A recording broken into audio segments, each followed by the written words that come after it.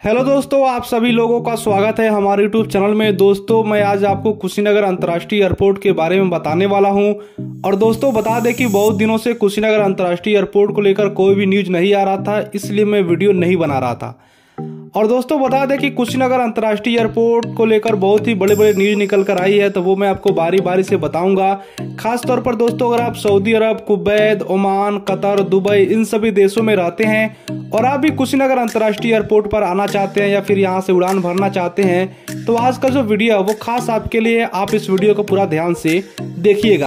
और दोस्तों, पिछले वीडियो मैंने पूछा था कि आप लोग कहाँ से इस वीडियो को देख रहे हैं तो बहुत सारे भाई लोग कमेंट कर कर बताए थे कि हम कतर से देख रहे हैं, कोई भाई सऊदी से, कोई ओमान से। तो जितने भाई लोग बताए थे, सभी लोग को दिल से शुक्रिया। और जितने भी भाई लोग कमेंट कर कर नहीं बताए, वो आप नीचे कमेंट कर कर बताइए कि आप कहाँ से हैं और इस टाइम कहाँ पर कार्य कर रहे हैं। अब दोस्तों बात कर लेते हैं कुशीनगर अंतर्राष्ट्रीय एयरपोर्ट की और कुशीनगर अंतर्राष्ट्रीय एयरपोर्ट को लेकर क्या न्यूज़ निकल कर आया है उसके बारे में। सबसे पहले दोस्तों बात करते हैं जिस दिन कुशीनगर अंतर्राष्ट्रीय एयरपोर्ट का उद्घाटन हुआ था, उस दिन कुशीनगर और आसपास के जितने भी पड़ोसी जिला के लोग हैं, चाहे वो देवरिया हो गया, गोरखपुर हो गया, गोपालगंज या फिर बिहार का चंपारण, इधर के बहुत सारे लोग जो है वो उन, उनके मन में खुशी का माहौल था चूँकि वो लोग कमाने के उद्देश्य से Saudi Arab Kuwait Oman Qatar Dubai में गए हैं।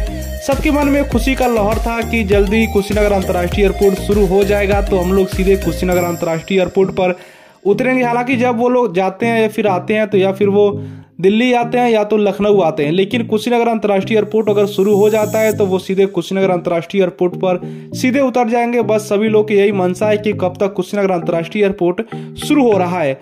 अब दोस्तों, मुद्दे पे आते हैं कि कुशीनगर अंतर्राष्ट्रीय एयरपोर्ट पर कब तक उड़ाने होंगी, क्या अभी फ़िलहाल में कोई अंतर्राष्ट्रीय उड़ाने हो रही हैं कि नहीं हो रही हैं, कब तक होगी, टिकट बुकिंग का क्या प्रोसेस होगा, इसके बारे में दोस्तों बता दें कि कुशीनगर अंतर्राष्ट्रीय एयरपोर्ट से अभी सिर्फ़ नई दिल्ली के लिए उड़ानें हो रही हैं और पहले तो कोलकाता और मुंबई के साथ एक दो दिन हुआ था लेकिन यात्री ना होने का कारण बताकर उसको रद्द कर दिया गया। अभी फ़िलहाल में एक दो साल से सिर्फ़ नई दिल्ली के लिए कुशीनगर के लिए उड़ानें होती हैं। और बात करें कि क्या कुशीनगर अंतर्राष्ट्रीय एयरपोर्ट को लेकर Saudi Arab Kuwait Oman Qatar Dubai को लेकर कभी आ, कोई बात चल रही है कि नहीं चल रही है कब तक यहाँ से उड़ाने होंगी? दोस्तों बता दें कि बहुत ही जल्द कुशीनगर अंतर्राष्ट्रीय एयरपोर्ट से Saudi Arab Kuwait Oman Qatar Dubai के लिए उड़ाने होने वाली है। और दोस्तों अभी तो कोई टाइम टेबल नहीं आया कि कब तक उड़ाने होंगी, बस इतना समझ लीजिए कि बहुत ही जल्द उड़ान होने वाली है। और साथ में जितने बौद्धिस्ट कंट्री हैं, उनके साथ भी कुशीनगर इंटरनेशनल एयरपोर्ट बहुत ही जल्दी जुड़ेगा।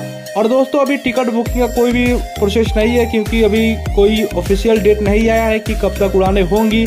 जैसे ही डेट आ जाएगा, उसके बाद से टिकट बुकिंग का प्रोसेस भी चालू हो जाएगा। लेकिन अभी फ़िलहाल में कोई भी ऐसा नहीं लग रहा है कि एक दो महीने के अंदर में शुरू हो जाए। हालाँकि अगले साल शुरू होने की संभावना जताई जा रही है। बाकी आपको वीडियो कैसा लगा हमें नीचे कमेंट कर, कर बताइएगा।